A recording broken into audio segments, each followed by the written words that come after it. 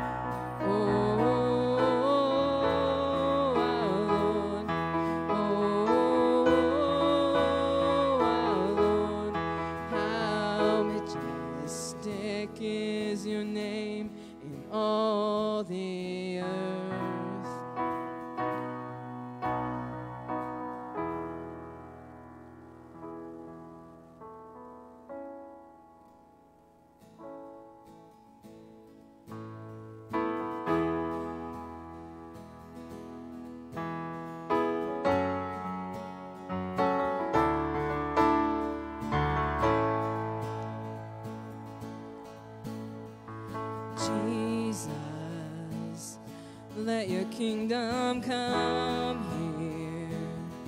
Let your will be done.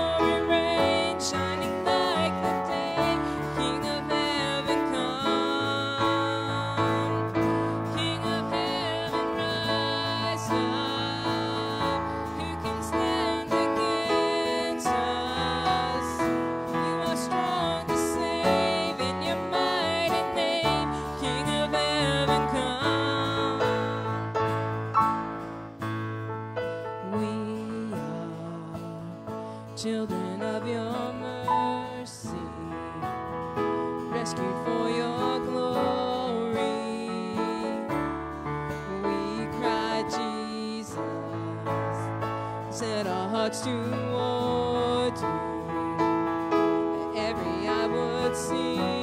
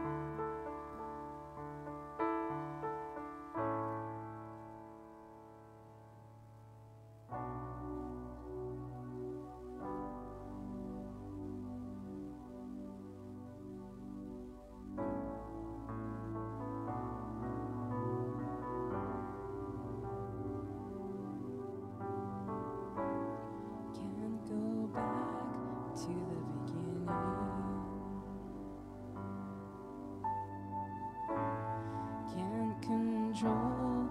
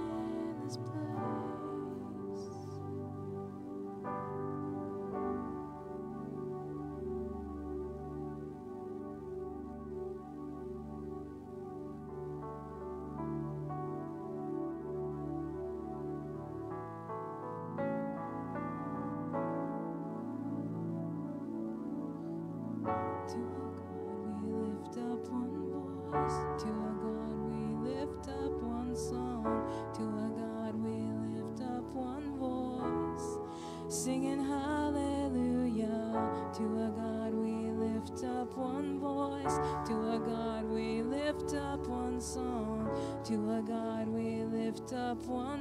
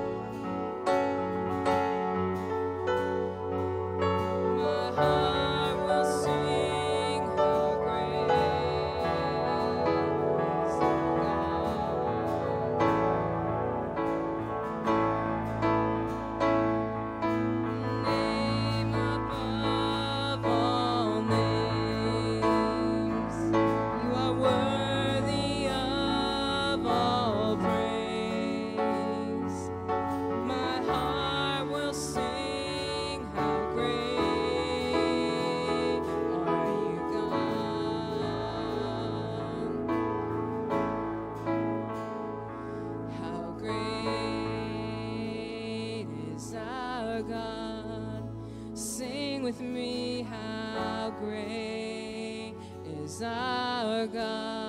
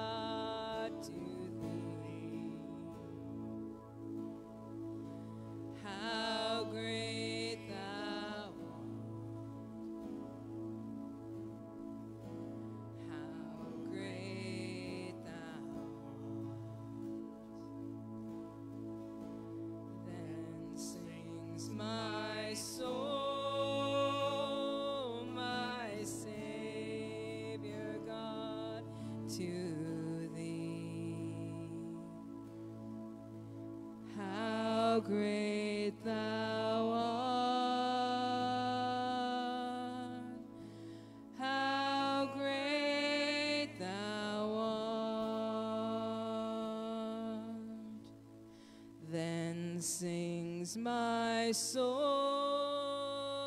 my Savior God, to thee. How great thou art, how great thou art. Then sings my soul, my Savior. Savior God.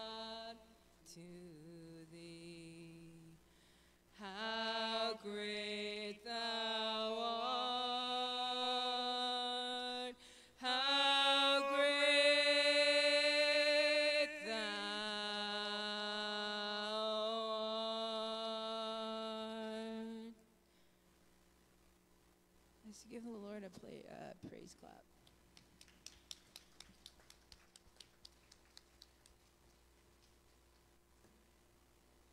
You may be seated.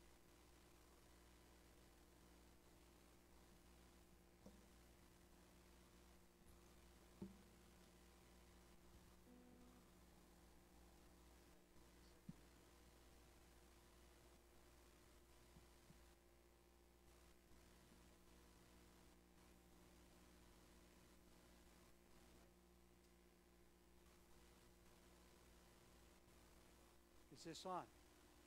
Is it on? Good, because I can't hear me. That's all right. Well, good morning, everybody. I'm so glad that you guys are here.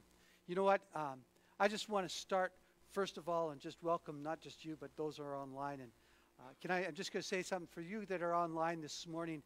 Can you do me a favor? Can you just hit like or put a comment down? I just really appreciate it so that I can see who's, who's watching this morning and uh, what's going on. So if you could do that for me, that would be awesome. Uh, okay, wide hair.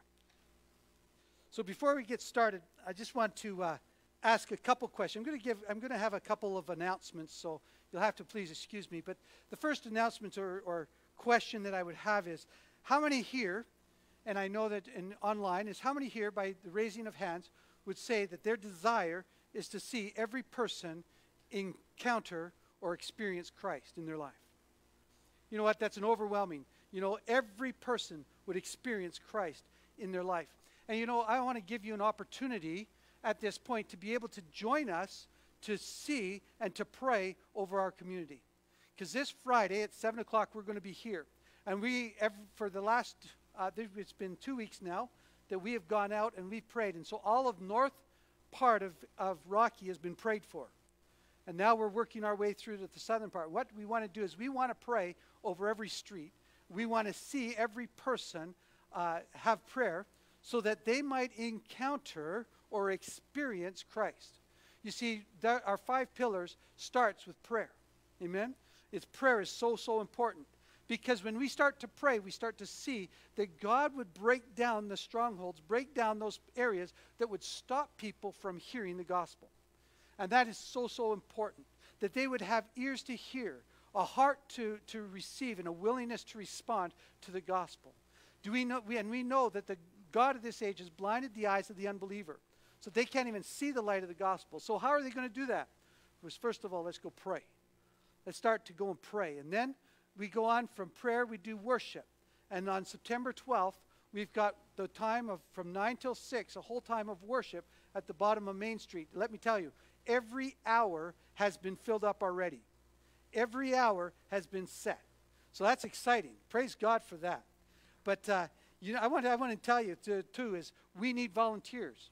And so there's a volunteer list. And if you can, we're, we're going to, in fact, let me just tell you, people are really slow to volunteer, so we're going to start phoning every one on the list. So, you know what? I'm, I'm sorry, but you know what? It's one of the things that really frustrate me as a pastor, but not just as a pastor, but in so many areas is in Rocky Mountain House, when you ask for a volunteer, they never volunteer until the very last minute if something better doesn't show up. And so what I'm going to do is I'm, we're going to start phoning and we're going to start asking where you can serve. Because you see, if we want every person to encounter or experience Christ, we need to start to step out and start to believe God to do it. For the amount that we are engaged in God's work is what we're going to see take place at the end. So if we were to turn around and you know that you're going to go on a holiday, what is it that you're going to do? You are going to start booking your flight. You're going to start booking your hotel. And by the way, think about the hotel because we're going to get to that. Uh, you're going to start to get all your shots. You're going to start to do that. If you were to sit back and, and if, if the way we do things in the church, if we were to sit back and say, well, you know what? God's sovereign. God's going to do it, so I'm just going to wait until he gets it done. Number one, you would never buy your ticket. Number two, you would never uh, get your hotel booked. Number three, you would never get your shots. So let me ask you this is if we know that God wants to reach our community, God wants to touch and, and every person to encounter Christ, what are we going to do? First of all, pray, and number two, we're going to volunteer to see what we can do. So September 12th, mark your calendar from 9 till 6. And we're going to be there and we're going to serve and we want every person to encounter Christ. Amen. So that's the, that's the first announcement. The second announcement is this. Um, when we start to see God move, and I, it's kind of store in a two-story part. Peter and the and the rest of the disciples, they were out on the lake, and a storm rolled up.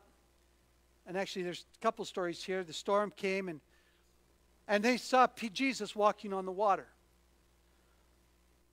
And Peter says, "If that's you, Jesus, tell me to come out on the water." What did Jesus do? He said, "Come on, come on, step out of the boat, come on the water." Do you know that if, G- if Peter did not step out of the po- out of the boat, he would not have uh, encountered the power of God in his life. He wouldn't have encountered it. He would have no idea that he could have walked on the water. He would say, "Oh yeah, that was that was really great." Another story. Peter, again, Peter, you know, he's, he's a good one to pick on. Peter was out fishing. Jesus was there in the boat. And afterward, Jesus said, Throw your net on the other side of the boat. How many know that if, G- if Peter didn't throw his net on the other side of the boat, he wouldn't have gotten all the fish that Jesus had prepared for him? Right? Is that, is that right? I'm going to, yeah. You know what? We don't access God's blessings and God's grace because Peter said, Because you said so, I'm going to do it. And he did it. And so often, our lives are missing the blessings of God because we're not accessing it because we're not taking God at his word. And God's word says, do this, and we, and, and we should be stepping out and following through. We're going to be talking about accessing God's grace through faith in these next couple weeks. And I think it's one of those most important part because you see, we all live in such a way that our lives are so dependent upon us, and yet we say we're depending on God. We don't access God's blessing because what ends up happening is we figure we're going to do it ourselves. And so I want to I want to tell you, keep your ears open as we start to go through this message. There is one scripture though in Malachi chapter 3 that says this. It says, "Bring all your tithes into the storehouse that there may be food in my house. Try me now in this." If God says, "Bring your bring your tithe into the storehouse. Bring your bring your first fruits. Bring you the first part of your of your income into the church." You know what? We don't talk about money too often. But I'm telling you, you want to receive the blessings of God as you have to be obedient to the very little things. And that's where God says, bring your tithe into the, into the storehouse. And then he says, try me. Go ahead, try me in this. See if I will not open the floodgates of heaven. You know, we were okay about the fish. We're okay about the walking on water. But what are we doing about our finances? You know what? It's not about I, I, it's not about me going in and trying to get money out of your pockets this morning, guys. It's about me telling you that there's a blessing that you will not receive if you don't. Because there's an access way, and that's through obedience, even in the small things. Amen. Are you, do you still? Am I still okay? we're going to uh, join. We're going to start again into uh, Unite seven fourteen. And uh, what we've done in, uh, in the last while, we've all stood and we've read through the scriptures and we pray and we prayed. So I want to invite you all to stand with me as we go through this seven, uh, Unite 714. Luke chapter 18, verses 1 to 8 says this. And he told them a parable to the effect that they ought to always to pray and not lose heart. He said, In a certain city there was a judge who neither feared God nor respected man. And there was a widow in that city who kept coming to him and saying, Give me justice against my adversary. For a while he refused. But afterward he said to himself, Though I neither fear God nor respect man, yet because this widow keeps bothering me, I will give her justice, so that she will not uh, beat me down by her continued coming. And the Lord said, Hear what the right, unrighteous judge says. And will not God give justice to his elect who cry to him day and night? Will he delay long over, over them? I tell you, he will give justice to them speedily. Nevertheless, when the Son of Man comes, will he find faith on the earth. And then Hebrews chapter 6 and verse 12 says this so that you may not be sluggish, but imitators of those who through faith and patience inherit or access the promises. Let's pray. Lord, for the last few months, we have been coming to you with one voice. From 170 nation, 179 nations around the world, we thank you for your mitigation of COVID 19. Without your divine aid, things could have been far worse. Yet many of us find ourselves in nations still in the clutches of this pandemic. Our econ- economies have, been have not recovered. Our lands are in deep need of spiritual and social healing. Despite these realities, we refuse to li- lose heart. You promise to give justice to your people, and we cry out to you day and night. Lord, with one voice, we ask you, Lord, eradicate COVID 19 and bring healing to our nations. Heavenly Father, you are not unjust judge. Even when the, when the answers to our prayers are seemingly delayed, there is a higher purpose at your work, and we continue to cry out before you, before your throne, Father. Fill us with fresh power. Fill us with hope and fill us with your love. May we have the faith to, fu- to fully communicate or cooperate with you when your spirit is freshly poured out on the earth. Father, send a fresh move of your spirit that will lead to the salvation of millions of people around the world. Lord, there are times when faith alone does not help us to see our prayers answered. It takes faith and patience to receive your promised breakthrough. Therefore, we refuse to quit, Lord. Continue to build in us a faith that does not wither and, in a, and a heart of, in the heat of crisis or break under the weight of impossibility. Lord, we pray that you would find faith in our hearts as you awaken your church and save the lost through the fresh outpouring of your Spirit. We ask this in Jesus' name. Amen. You can be seated. I think this is so, so good that we could actually come together and we could pray with the 179 other nations. How many, when other, uh, what other time in the history of the world have we seen 179 nations praying with one voice?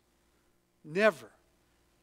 Now, what would happen if, because, and, and I, I'm believing God for, for a, a whole new uh, revival that would come because the churches, the church of God is rising up to pray and to believe God for something new. Well, this morning we are going to be talking about access into grace. And so I want to I want to ask you a question as we go along. You know, many of us have had have gone into hotels. We've gone and we've booked in a hotel or we've gone to all inclusive holidays. For those of you who've done all inclusive, you get to the place and you come up and you give them your name and you get the key. And that key gets you, first of all, into your hotel room.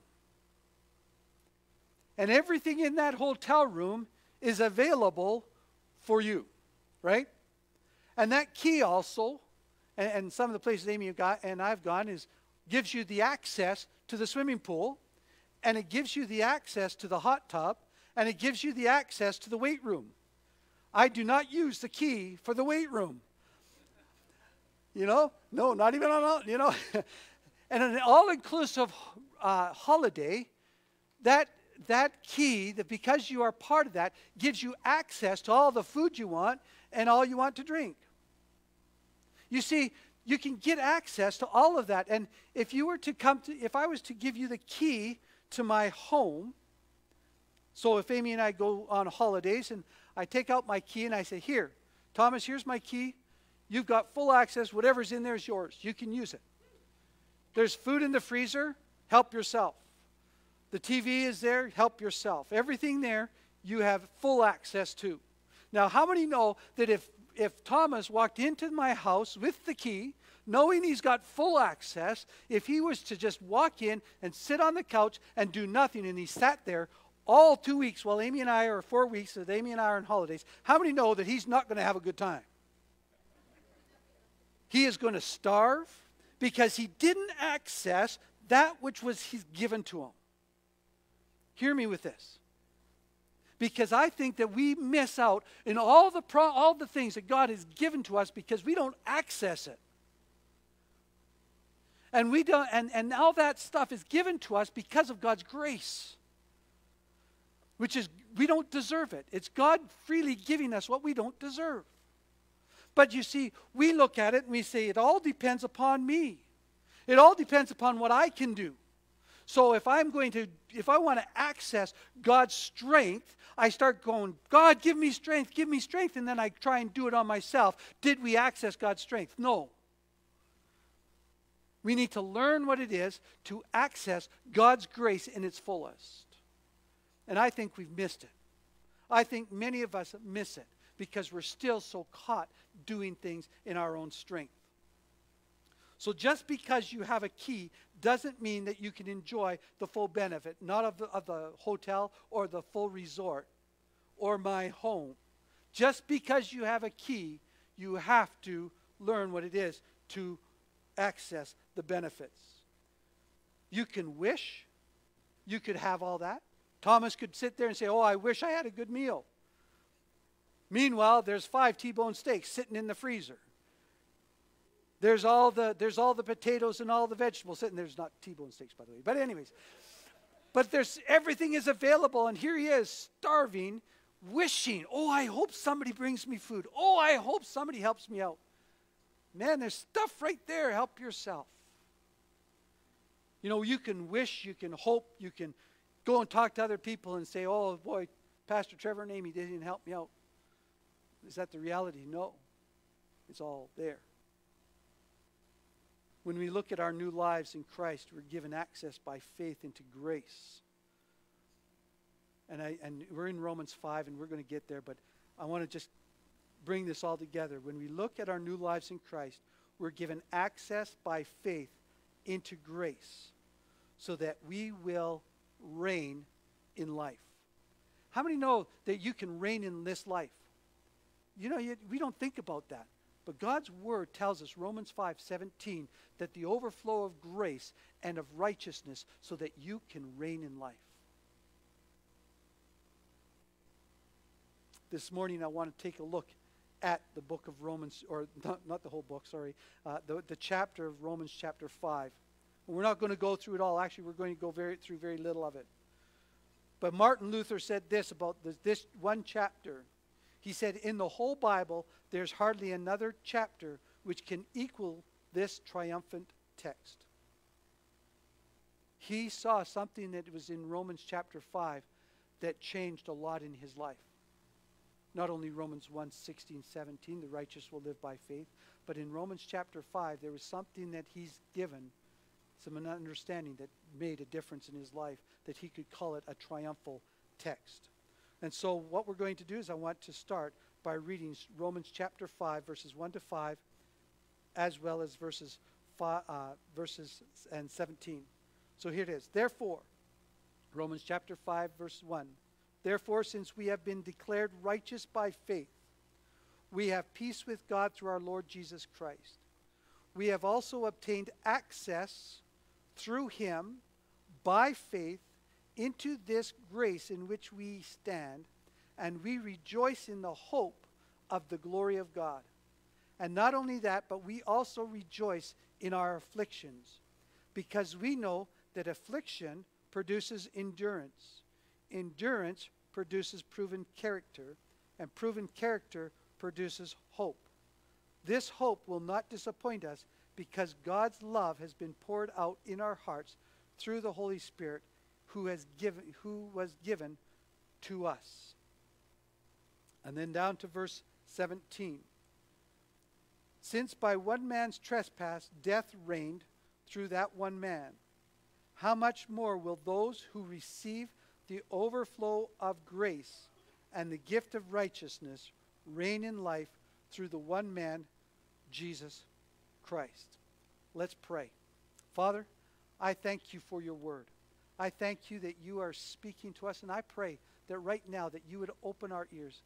God, we just, we don't always hear it, and, and so often we miss it. But Lord, I would pray, Holy Spirit, that you would come and that you would bring revelation to us today.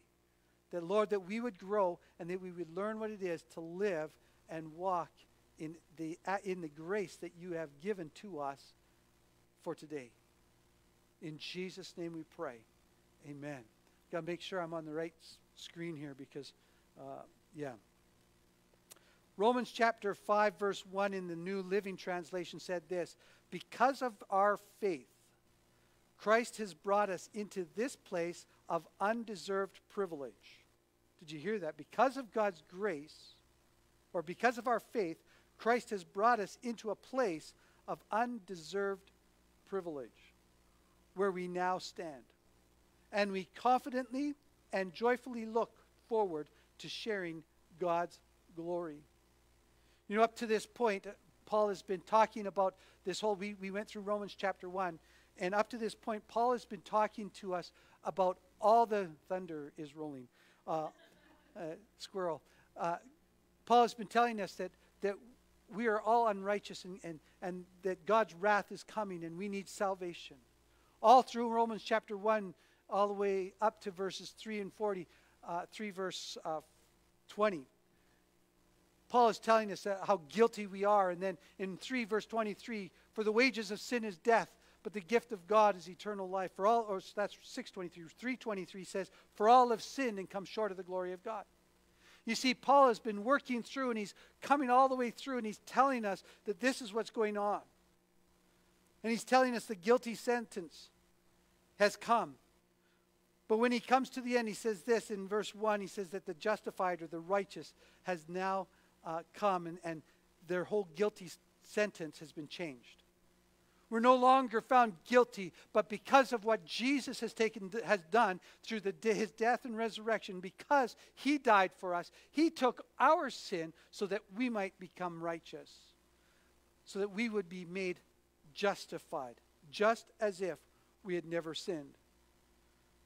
So, because we have been declared righteous by faith, Paul now tells us there's practical benefits to that righteousness. And that righteousness comes not because of anything that we have done, not by works of our own righteousness, not because we've done anything good. Righteousness comes because God did through Jesus and gave it through grace. And we have access to salvation through faith. You're following me through with this. So here's the first one. There's two benefits, and they're just not just interesting ideas. I want you to see them. First of all, the first benefit is one, number one is peace with God. Therefore, since we have been declared righteous by faith, we have peace with God. Ephesians chapter 2 talks about the fact that Paul tells us, he says, that we were dead in trespasses and sins. We were by nature ob children of wrath. God, who is rich in mercy, because of his great love for us, made us alive. You see, Paul in, in Ephesians 2 was telling us that this is our state. Many of us didn't even realize that we were outside of peace with God. Many of us didn't even realize that we didn't have an enemy or one that stood against us. We figured we were all okay. But the reality is, is outside of Christ, we are standing opposed to what God has. We are separated away from the life of Christ. We are pulled away from his peace. And we need to come back into that place. How many of you have ever had an issue with another person and you know that there is no peace between the two of you? Come on. Been there, done that. Got a few t shirts. But you know what? When there's no peace between two people, you don't go and have coffee with them. You don't go and talk with them. You don't have lunch with them. And if you see them coming in one door, you go out the other. In some instances. Let's put it that way. And so many people don't understand that they don't have peace. And when they get when they get confronted with Jesus, what ends up happening is, I don't want to hear about it. They're blinded to the fact of their separation from God. But where they come into is they all they hear is the condemnation that comes from Christians' mouths. Jesus said in John 3 16, for God so or God said, For God so loved the world that he gave his only begotten Son, that whoever believes in him would not perish but have everlasting life. For God did not send his Son into the world to condemn the world. We end up condemning the world, but God didn't come down to condemn it, He came to save it. And the message of the gospel is all about the salvation that comes through Christ. I'm going to get off my topic here. Topic, not topic. This is interesting how your words get mixed up. But you see, the, the world never realizes that they have been separated from God. They don't realize that they have no peace. It's kind of like driving down the highway, and I've never had this. Driving down the highway. I got caught once outside of a town. But, anyways, driving down the highway, doing well over the speed limit, and not realizing the red and, red and blue lights flashing behind you. You don't realize you're in trouble until you look in the rearview mirror. And guess what happens? Right away, you see it and you pull your foot off the gas. Or you see them coming down the road and you see the police officer. You pop your foot off the gas and you tap the brake just to slow down a little bit so that maybe he didn't get you. Let me tell you, people don't understand that they are separated from God and they don't have peace. And they're not and when they're confronted with it, they need to know that it's not God didn't come to destroy them or to condemn them, but to bring peace back into their lives. And you and I find that peace. Now we can come before our heavenly Father and and we'll get to this, but we have access to his throne room. How many took advantage of accessing God's throne room today? We come in prayer. We can come before our Father, not because no longer having to fear, but because we have peace with God. That's what his that's what salvation did. That's what righteousness does for us. We now have peace with God. So, we come to the second ble- benefit. Let's see if did I I'm keeping on forgetting. The second benefit is this is we have access into this grace. We have obtained access through him by faith into this grace that we now stand. Let me give you a couple uh, quotes or, or uh, definitions. It says access into grace is the second benefit, and it simply means being able to get to what we need. When you have access, you are able to get to what you need. Just like Thomas. If he, if he needed food, he had access to get to what he needed. When you are in the hotel, you have access to get to what you need. And so this is that, that grace that we can bring into. The idea of being given access is, is that of an introduction to the presence or into the chamber of a monarch. I don't know if you've ever thought of this, but if you're given access to the queen or to someone else of great importance, do you just walk up, walk in the door and say, "Hey, how are you doing?" That's not what you do. You come into the into a, a, one area, and the person meets there, meets you there. There's, then you say, "I've got this appointment with the queen or with so and so," and they say, "Okay, we'll just wait here." They go to the door, and they open the door, and they go, and, and I'll just use I'll use Thomas because he's sitting there. It's good to sit close. I, I really appreciate Thomas, by the way. Anyways, they open the door and they say, "Hey, Trevor or Thomas is here to see you." And the guy says, "Okay, bring him in." The person, and you got to walk your way through this because this is this was an aha moment for me. Think of your place with Christ. Before you were separated from Christ, and then this man, Jesus, came. He paid the price so that you could have access to the Father. And he says, Come with me. I want to introduce you to the Father. Hey, Father, Blanche is here to see you.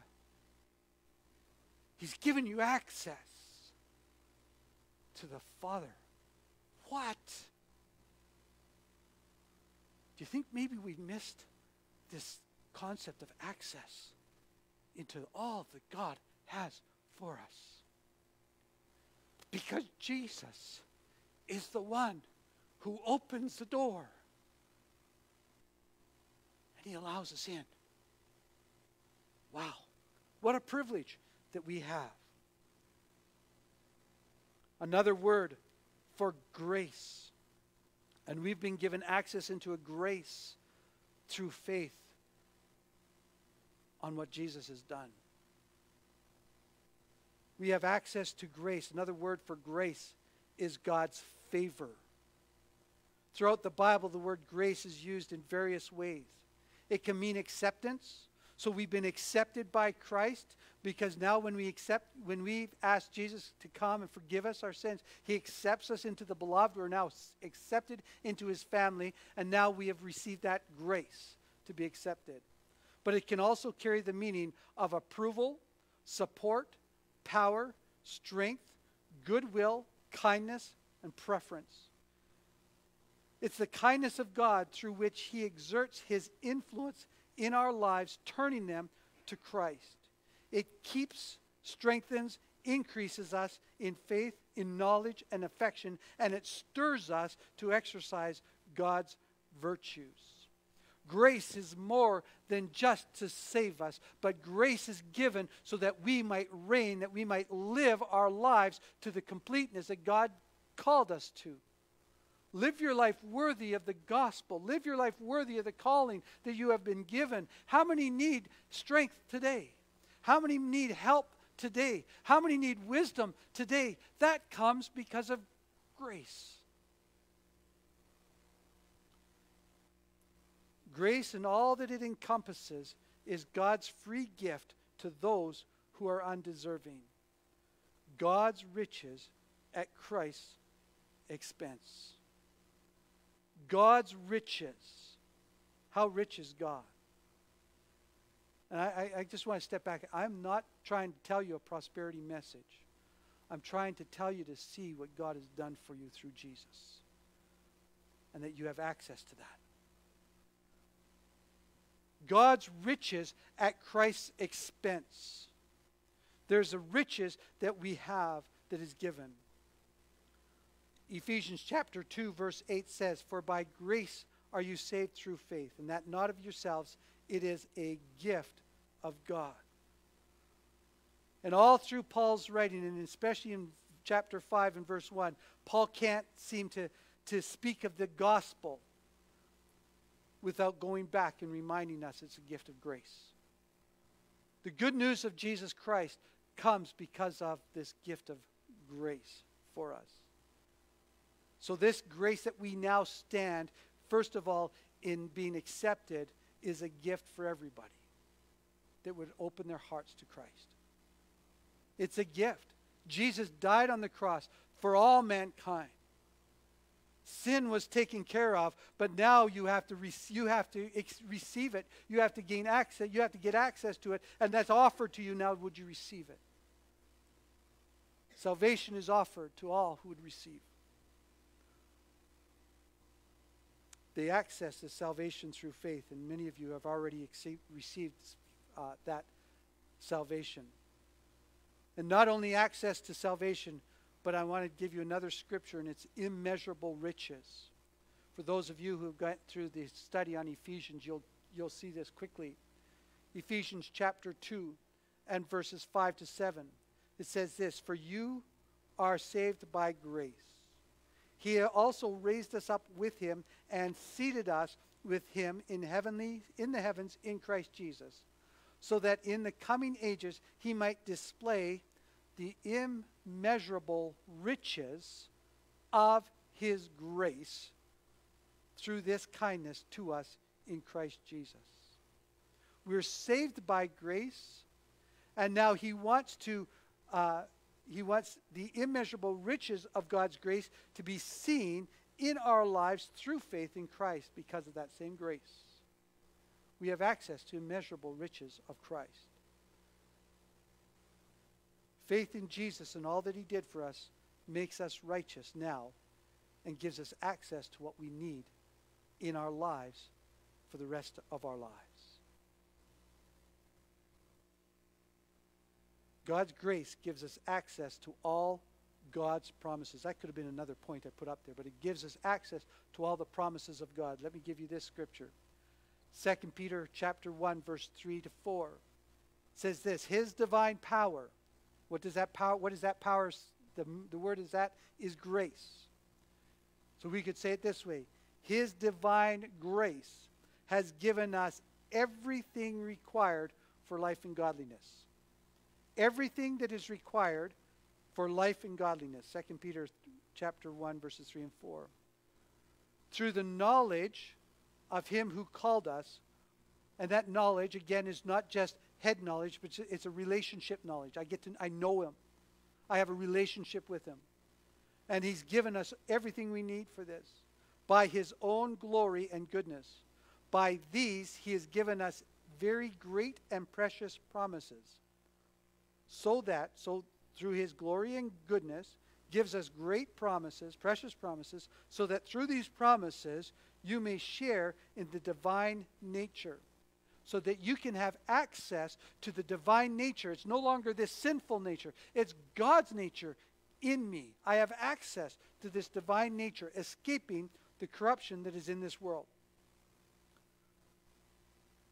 When you go back to Ephesians 2, we, we recognize that uh, God will never stop dealing with, with us on the basis of, He will never stop dealing with us on the basis of grace and will forever continue to unfold the riches of grace through us, through, to us throughout eternity.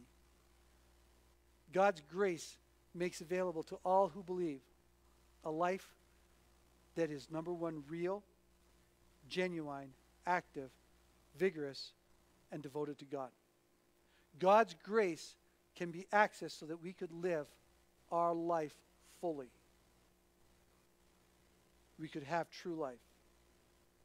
God has given us his precious promises. Now, let me see if I've got it. We can get 10 benefits of grace in our lives. Now, I'm going to give you 10, and it's going to be quickly so that you can hear it. So here they are. Number one, we're helped by grace. In Hebrews chapter 4 and verse 16, therefore, let us approach the throne of grace with boldness so that we may receive mercy and find grace to help us in time of need. Let us approach the throne of grace, Hebrews 4:16. The second one is we're forgiven by grace. Though we don't deserve it, God wipes our state clean, our slate clean by his grace. Isaiah 43:25. I sweep away your transgressions for my own sake and remember your sins no more. Psalms 103, verse 12. As far as the east is from the west, so far have I removed your transgressions from you. We're sustained by grace. God will never ask you to do something that He doesn't give you the ability and the strength and the power to do. Philippians chapter 2, verse 13. For it is God who is working in you, both to will and to do His good pleasure. 2 Corinthians 12 and verse 9. But he said to me, My grace is sufficient for you, for my power is made perfect in your weakness. We're healed by grace. Psalms 103 For he forgave our sin, our iniquity. He heals all our diseases. He redeems your life from the pit. He crowns you with faithful love and compassion. He satisfies you with good things. Your youth is renewed like the eagles. Isaiah 53, verses 4 to 6. Yet he himself bore our sicknesses and carried our pains. But we in turn regarded him as stricken, struck down by God, and afflicted. But he was pierced for, by, because of our rebellion, crushed because of our iniquities. Punished for our peace was on him, and we have been healed by his wounds. We all went astray like sheep. We have all turned to our own ways, and the Lord has punished him for the iniquity of us all. Luke chapter 3, verses 18 and 19, Jesus said, The Spirit of the Lord is on me, because he has anointed me uh, to preach the good news to the poor. He has sent me to proclaim and rele- release to the captives recovery of sight to the blind and to set the oppressed free. We're given rest by grace. Matthew chapter 11. Can I tell you? Just a quick, we- we're just about done, but let me tell you, I had a phone call this week from Rudy's sister. Rudy is, uh, is sitting in the hospital and his head's getting heavier and, and, and the, in, in all intents purpose, but by the power of God, he's going to he's going to be dying soon. But his sister calls me up and talks to me, tells me and starts to cry. And then she turns around and tells me, but my dad has to have open heart surgery. So you're seeing this and it's starting to come down. And you could see the weight. And I let, let me tell you, this is what the Bible tells you. Jesus said, Come to me, all you who are weary and burdened down. And the rest of the verse says, And I will give you rest. You see, Jesus, Jesus was offering her access to the rest because of what he did. Now, what all she had to do is say, God, help me. And this is what I did. And it's by faith. We receive it by faith. And we're going to get to that maybe next week. I got to, I'm working through some things. But the part is this. She now, right after I told her and I prayed with her, guess what? She said the first words that came out of her mouth, I feel like a weight has been rolled off. You see, she accessed the strength. And that's what all of us have to do. Okay. Before I get going too far again, we're given talents by grace. Romans chapter 12 and verse 6. And I won't take time to read it, but it talks about the, the, the talents, the gifts that God gives us, and they're called grace gifts. They're given by His grace. Not that we deserved it, but because of His great love. Number seven, we are used by grace. Ephesians chapter 3 and verse 7. I was made a servant of this gospel by the gift of God's grace that was given to me by the working of His power. God uses us to fulfill His purposes on the earth. And He does that by giving us the grace to be able to accomplish it. We're protected by grace. Jude 1, verse 24. Now to him who is able to protect you from stumbling and to make you stand in the presence of his glory without blemish and without and with great joy. And number three and the number nine is we're transformed by grace. 2 Corinthians 5:17 Therefore if anyone is in Christ he is a new creation. The old has passed away behold the new has come. And 2 Corinthians 3:18 says and we all with unveiled faces behold the glory of God are being transformed into the same image from one degree of glory to another. And the last one we're going to talk about, and just really quickly, is we're matured by grace. 2 Peter 3 and verse 18 says, But grow in the grace and the knowledge of your Lord and Savior Jesus Christ. We went through those fairly quickly, but what I wanted you to hear is there is so much that is given because of God's grace. And we have that ability to access it, not because of anything we have done, but because of what Jesus has done. All God's promises are given to us because of grace. And what I have given is only a small portion that God has done through Jesus Christ. So, what did God give us grace for? It's a good question, and we're going to answer that next week. And how do we access it? Well, we've talked about faith. There's interesting parts to that, and I am not going to, again, we're not going to go too far with that either. But this grace is made available. Therefore, since we have been declared righteous by faith, we have peace with God and our Lord Jesus Christ, and we've also obtained access into this grace.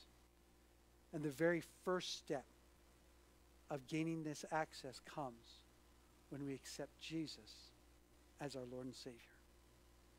That's the very first step.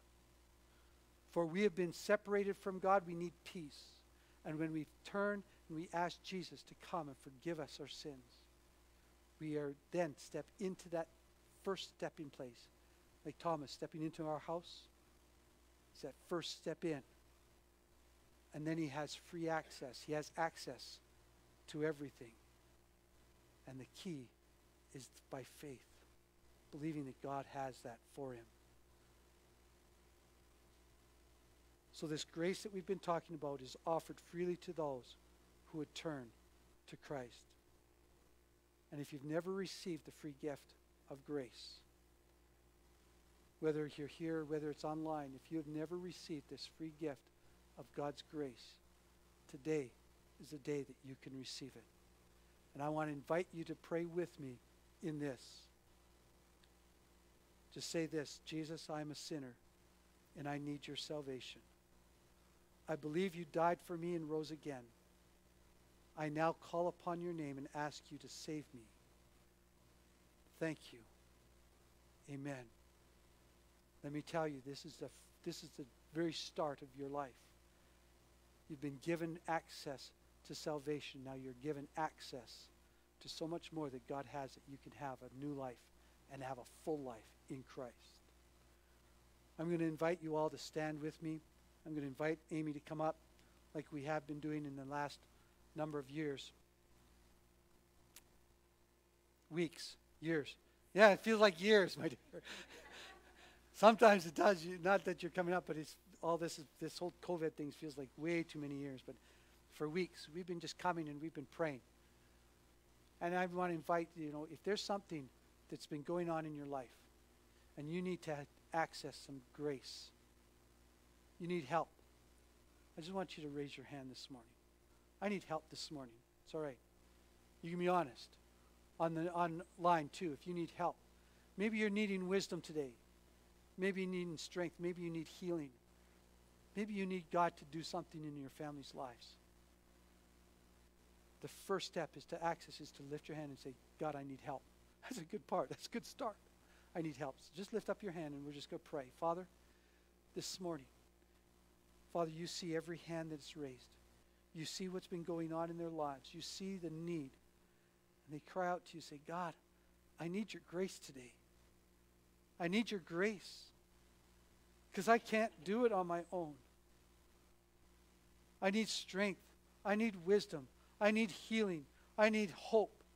I need to I need breakthrough from despair and discouragement. I need your strength, oh God. Help me. And just as we prayed at the very beginning, Father says, You are not an unjust judge. You're not unjust. But you will give that when we cry out to you. Lord, we need to receive it. And Father, thank you for your grace that is given. And now, Lord, we pray, bless each one as we go. In Jesus' name, amen. Right? The Lord bless you. Have yourself a great week.